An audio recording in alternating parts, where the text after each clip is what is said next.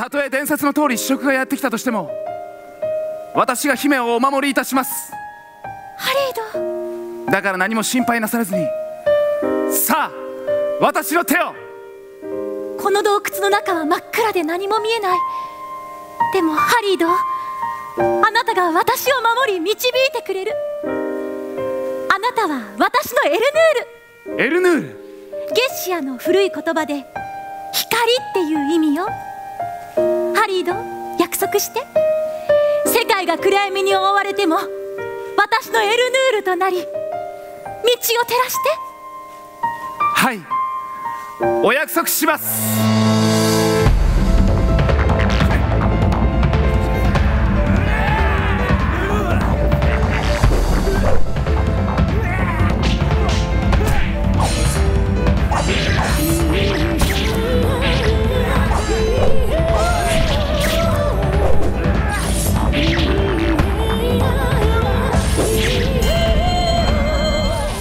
ブラックの進言の通り要点を告げる。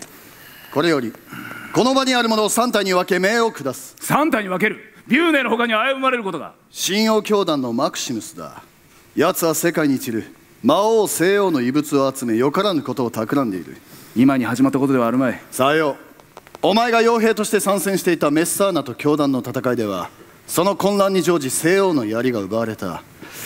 そしてカタリナはロアーヌ皇家に伝わる聖剣マスカレードをお兄様カタリナはこうしてマスカレードを奪還しております。いえ残念ながらマクシムスを撃つことはならず取り逃がしました。咎めているのではない。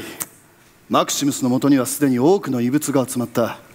奴は大いなる力を手に入れ我らの脅威になりつつあるということだ。なるほど確かに危険だな